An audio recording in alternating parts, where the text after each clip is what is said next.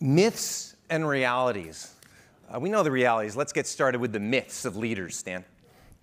What are they? Well, it, it, it goes back to when I was a kid. Uh, there was a childhood book that my mother had gotten in, when she was a child, and then she read to me, and I now read to my granddaughter.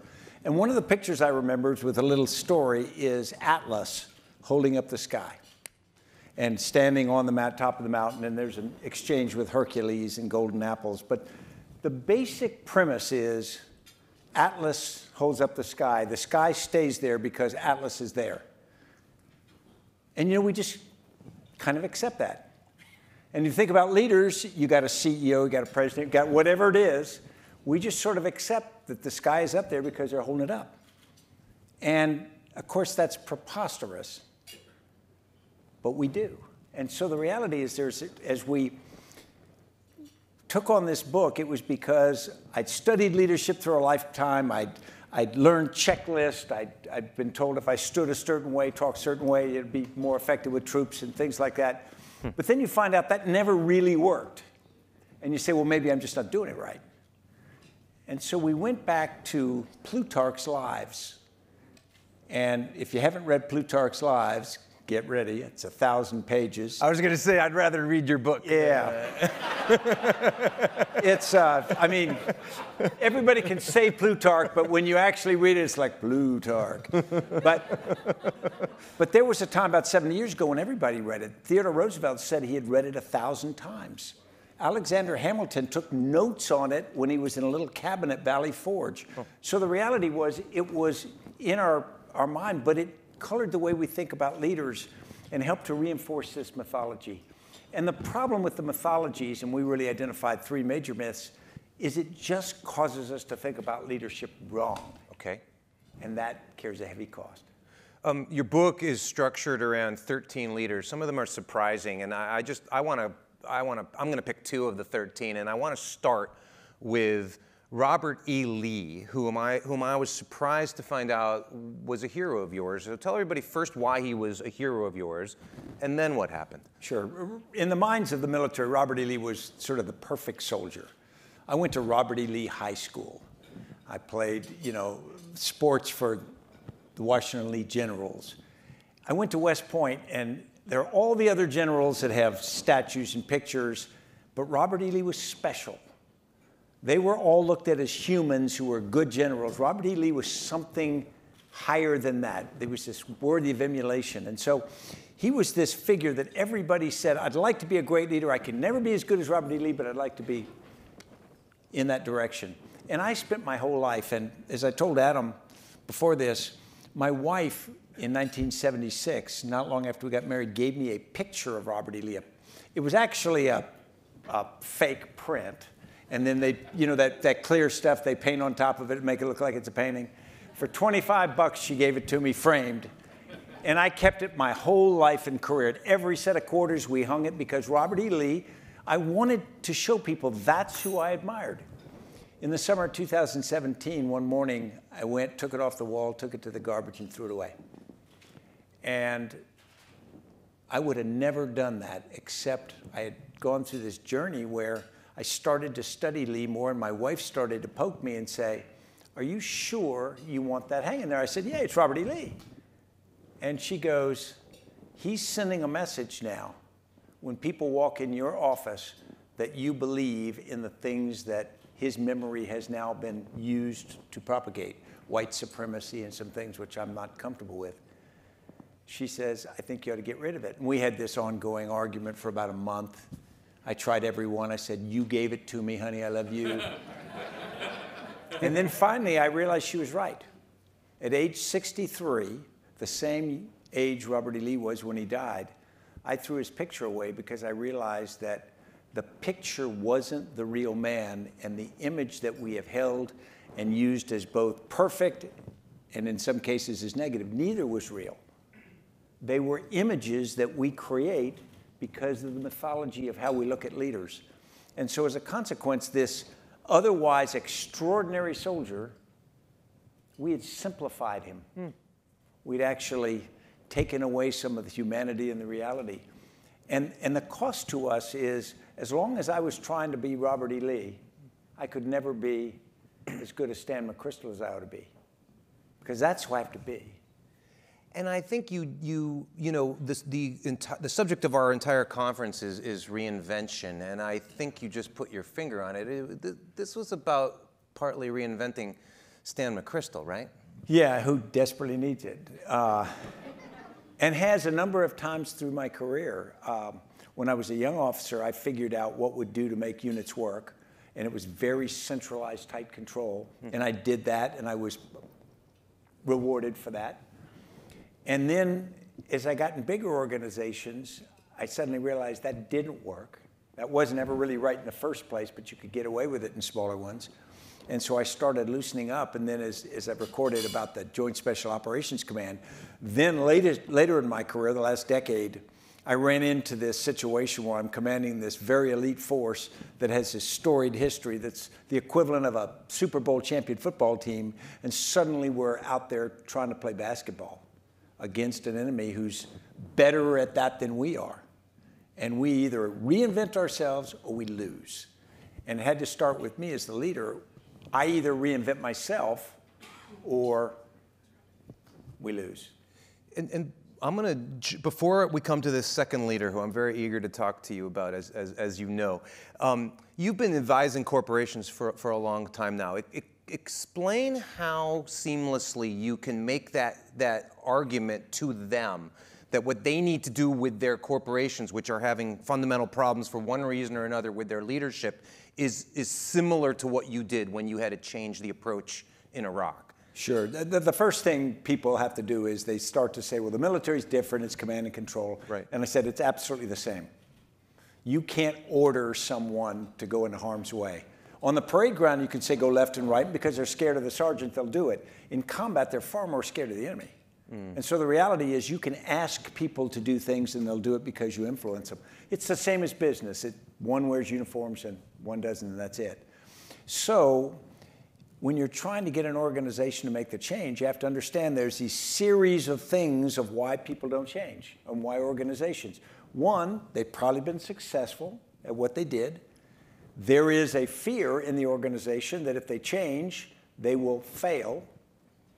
And, and that's an interesting argument. They say, we created this great organization, it's been successful, been profitable. If we change and fail, that would be bad. And then you sort of point out, guess what? You're on the road to failure now if you don't change. And so you start there. And then, then people come back and say, well, what, what about me? Mm-hmm. They don't say this out loud, but they think it. Mm-hmm. If the organization changes, it operates differently. I've built up equities and experience and credibility, and you suddenly change it. Is there a place for me? And that's a fair question. It's not a disloyal question, it's a fair question. Mm-hmm. We had the same thing. And then finally, you know, it, it sort of comes down to we're too busy. And it's, that's a fair argument. You say we, we have to change, we have to reinvent. You say we will next quarter. We got to make our numbers this quarter. They, there won't be anything to reinvent. Yeah.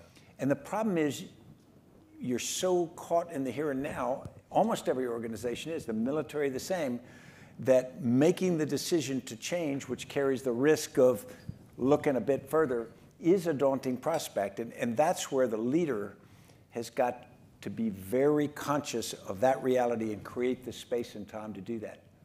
Now, back on leadership, just sure. as you identified your entire life with, with Robert E. Lee, uh, I think everyone will understand that you also have a, a, a, real fondness for the fashion business. And so that must explain why you wrote about Coco Chanel. Yeah. yeah, we included Coco Chanel. And, you know, I'm thinking, really? and, and I had this little team we put together to write this book. And you know, we're talking about different people, and, and I'm thinking, you know, Alaric the Visigoth or something like that. And someone says Coco Chanel. I didn't even know it was a person. I knew there was, I knew there was Chanel number five. and, Which is pretty good, by the way. Yeah. That, you know, that means that that was the success of, of, of Coco Chanel's business. well, you knew what Chanel number five was. Well, that's right. the thing about Coco Chanel, when you study her, she was hard as woodpecker lips. She, was amazing. you know, here's a story. You know, she's an orphan. She learns to sew. She sings in clubs and starts to get to know some people. And she intersects with opportunity. Because right about during the First World War, women are wearing heavy fashions, heavy hats, corsets, and all of this stuff, and they need to be physically liberated. They also are entering the workforce, so they need to wear practical clothing. Also, it's the First World War when the cost of materials is rising. And Coco Chanel sees all this and she says, okay, let's take advantage and let's push it. And then the other thing that was so fascinating is she made herself the exemplar of what you wanted to be. So the fashion that she created, she wore. The way she wanted people to look and act, she looked and act. And so the idea was, I want to be like Coco. And so her fashion, the perfume business followed, and she was a hard businesswoman. I mean, she was she incredibly hardworking and successful, but she understood that she had to be the, you know, walk the walk, talk the talk, whatever we want to say. She had to exemplify everything she wanted people to follow. And so as a leader, she not just directed people, she actually led in the way she created opportunity for other people to do that. Now, um, I want to change gears and, and talk about a couple other things, and then let, let these Just people do my job for the for the rest of our for the rest of our time. But uh, you were you spent the weekend uh, campaigning for a, a congressional candidate in Ohio. Tell everybody about that, if you would. Yeah, I've I've never been involved in politics until uh, a couple years ago. I got involved in one race in Boston because there was a there was a young guy I'd gotten to know. He happened to be a veteran, and he asked me would I come do it. So I went up and did an event at the Peabody VFW and a couple of things, and he won. And he's Congressman Seth Moulton. And I didn't even ask him what party he was when I agreed to go up and do it. I just knew he was a centrist, reasonable guy, and I said, "Well, we need we need those." What party is he? He is a Democrat. Um, then recently, I was contacted by a Navy veteran who's running in a very tight race in Ohio and they've got very gerrymandered districts. There's all kinds of challenges in the steel area. So I went out Saturday to campaign for him. And same thing, I didn't ask him what party he was. I found out he was a, he's another centrist Democrat. Uh, but what we did was we, we basically are making the argument that there's got to be somebody in the middle. There's got to be somebody who understands that the person who's on the other side, as you learn in warfare, doesn't necessarily have it wrong. I mean, I fought wars against people who, if I just turned the side, I could argue their argument as well as I could argue mine. And so the point is that the other person isn't necessarily evil. And so what we've got to do is we've got to start working back toward the middle. And that starts, I think, with leadership at a very local level in the Congress and the local things. And so I think if I can do anything, if I can encourage young people like that to take the jump and to try to pull people sort of back from either brink, you know, at the, at the ends of the political spectrum, that will be of value. And I think if we don't do it, if we reinforce the, uh, the vitriol, it's going to be hard to get anything done in our country. So you've endorsed, you've supported publicly all of all of two candidates. Is your phone, your proverbial phone, ringing off the hook now for from other veterans in particular to support them? Yeah, you know, it's not, I'm not like that guy Adelson who gives hundred million dollars at a shot. you know, what I do is like give a day, and I go hang out in the VFW with with uh-huh. them doing that. But you know, maybe that's maybe that's more. If we think about it, maybe if we each of us here just take something we believe. It doesn't have to be a candidate, it can be a cause, and we just demonstrate that. And if that is a credible, reasonable thing, maybe that's more powerful. Go ahead, there's a paddle up there. Hi there, I'm Catherine from Integrate. Okay, this is worse than Robert E. Lee, but I read an article recently by Tim Harford in the Financial Times about disruption and Hitler. And basically, he said that the Brits had created a tank in like the early 20th century that the British Army was unable to wield effectively because their organizational structure hampered their ability to sort of mold to the new technology. And then 20 years, 20 years goes by, Hitler has the opportunity to enter into something more like a blank slate and be, create the blitzkrieg around the tool and sort of adapt the organization to the potential of the technology. And so I, I just love your comments. Like I read that and I was like, wow, like Hitler, the you know disruptive innovator from 1930, um, which is ridiculous and horrible to say, and yet seemingly aligned with what you're describing. So I'm just I'm curious to hear your comments on that from a military history perspective. Yeah, um, you're, you're, you basically got it right. That gives Hitler more credit than he deserves because there was some military. But the, the point is, they lost the First World War, so they started with the idea, well, we won't do that again. And so the German army, you know, took a tabula rasa approach, and it, it turned out to be really effective. There was a move to bring back the horse cavalry into the United States military, and it was after World War II. And you sit there and you go, what? Why? Because there is always going to be a constituency for either the status quo or what used to be. Yeah, yeah. Muscle memory. Let's get a mic up here. Oh, we have one back there, please. Uh, hi there, Matt Heimer from Fortune. Uh, I was very moved by what you were saying about the need for uh, leaders who would poll, uh, who would take a back to the middle center view. Is there someone in your book who reflects that uh, kind of centrist, uh, unifying force? And could you tell us a little more about them?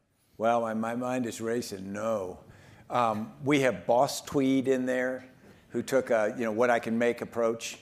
Margaret Thatcher is fascinating to study because she was not on the spectrum, but she, she hit a tuning fork with the, Ameri- with the British people just at a time when they felt as though their decline from, from the Second World War on needed to stop. And so, what I learned from many of these leaders, Martin Luther, Martin Luther nails his 95 Theses on the church door. The point is, he nailed it at exactly the right moment when the people were primed for someone to do that. It wasn't that he was brilliant, he'd been doing it for years. He intersected with fate and then, and then wrote it. So I guess my point there is it's not always somebody who has this great vision, not always someone who has been at it a long time. Sometimes it's absolute fate that that moment comes and that person arises, whether they even know that they're that person or not, and then what they do with that from there on. And, and are you saying that, that is that a, is that a commentary on, on Donald Trump as president of the United States, and what do you think of him as a leader? I knew we'd get here. Um, I'm looking at the countdown clock, so we had to get to it sooner rather than yeah. later. Um, I think David Brooks said it best when he said Donald Trump is the wrong answer to the right question. You know, I did spend Saturday at the VFW in Canton, Ohio, and I spent it talking to veterans now in union jobs and, and uh, working hard. And although the economy is on paper doing really well, they haven't had any economic progress in 30 years. And yet they're not arguing against America. They're just saying, we, we've got to get something that works that, that gives us you know, the kind of future that we need. I think that we need to understand that leaders can, they can reach out to those things which we need at the moment. If, if we think we don't have hope, somebody will give a hope even if it's absolutely not real. Or if somebody, if we need an enemy, if we want to blame things on someone, someone can, can play that card as well.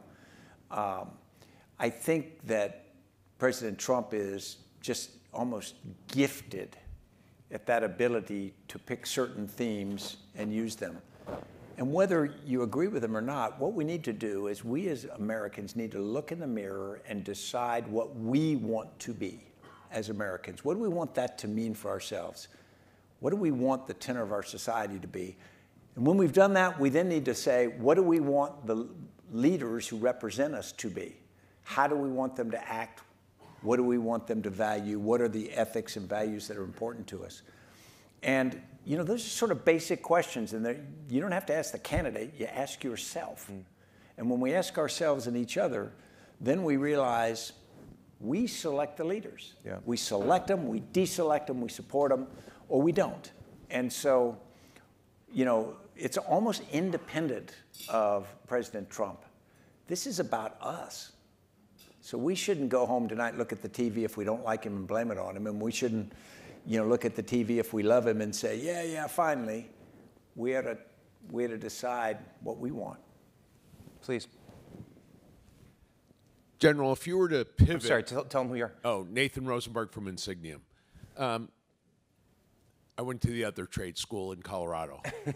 Wow, it's very sad, but you can be retrained. we'll see how it turns out next month. Yeah, You're talking about football. I yeah. That's Okay. right. All right. Uh, General, if you were to pivot now, given the experience you've had since you retired, Yeah. and the Joint Chiefs and the heads of the unified commands were all in the room together, all the four stars, what advice from a business view would you give back to the military? Great question. I, I think the military is in need of some big changes. One of the first is the military is a guild-like system. You, to, to get to the top, you must start at the bottom. The good part of that is you create monks who you know, know, know the culture. The bad part is you create monks who know the culture. The, yeah, the first thing I'd do is I would start lateral entry into the military. And at very senior levels, I would go out into this room and I'd find two, three, or four ladies and gentlemen. I'd say, okay, we'd like you to come in the Army, Navy, maybe the Air Force. You know, they probably do better than that. But, uh, yeah. but but no, and I would bring them in not as just advisors or specialists. I'd bring them in as colonels and generals, and I'd say, we want three years. And you know what they'd find? They'd find they'd learn to wear a uniform, learn to salute, learn the acronyms, and in three months they'd be as good as everybody else. And what that would do is breathe fresh air into the military. It would bring different ideas and whatnot. I would send military officers out for more time out with business for the same reason, so they'd come back saying, you know, these companies do certain things differently. I would also uh, change how we select to brigadier general. And I'm talking the officer corps, but same is true of the NCO corps. The big selection to brigadier general is like the keys to the C-suite. There, in the Army, there's about 2,400 people looked at every year, 40 make it. And so it's the incredible eye of the needle. If you get that wrong, you can never fix it because all of the two stars come from the one stars. So that's your chance to get it right. The problem is it's pretty antiquated the way we look, and we look down. I sat that board twice. Yeah. And what do you do? You look down and say, how many stands are there? We got to promote those guys because I'm excellent. And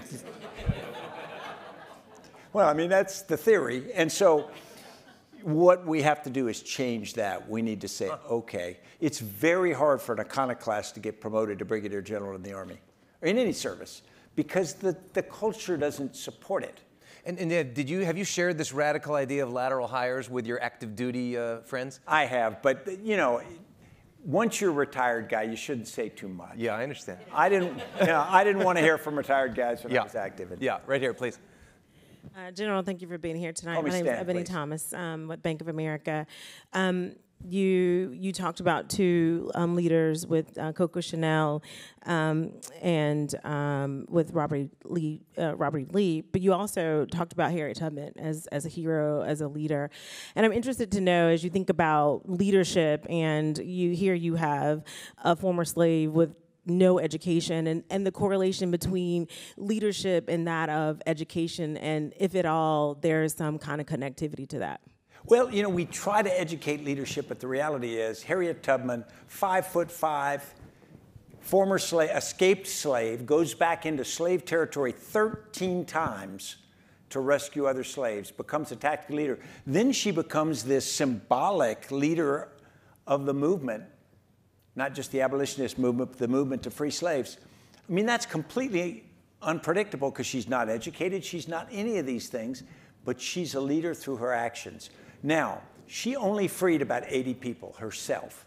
That doesn't matter. She became a lever.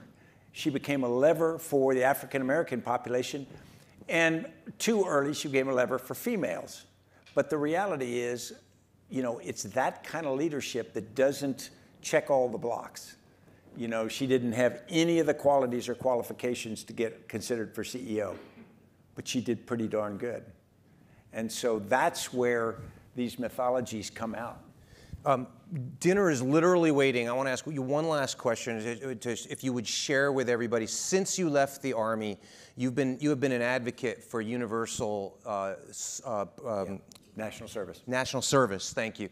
Um, tell everybody why you believe in that, what it means, and why we haven't gotten there Well, yet. Thanks for asking that. Um, I think the existential threat to the United States is the degradation of what we think a citizen is.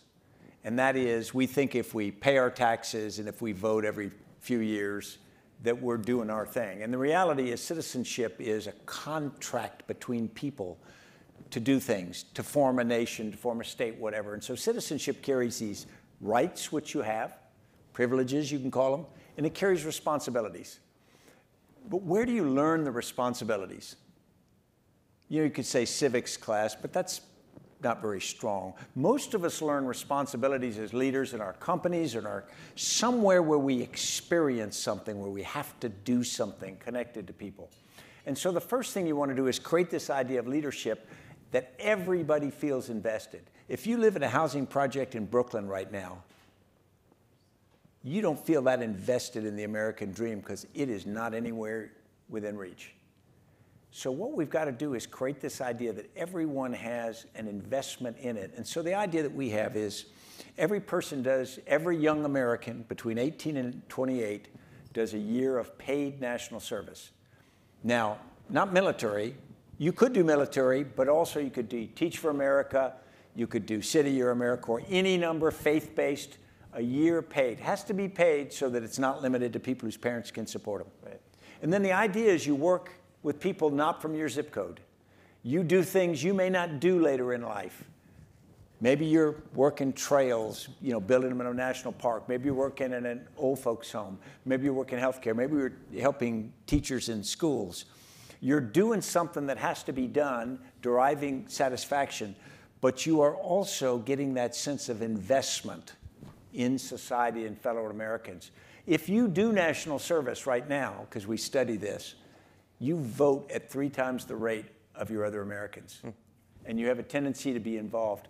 I think the only way to make America the country we want it to be is to go upstream, invest in young people, create the alumni from this so that they will help change society. We don't, you know, things like World War II, you know, united people, but we don't want World War IIs no. to come along to do that. No. And this is our chance to push for it. Well, um, first of all, Stan, thank you for being here tonight. It's become very popular to say thank you for your service. I want to say to you, thank you for your continued service to your country. Adam. Thank you. Thanks for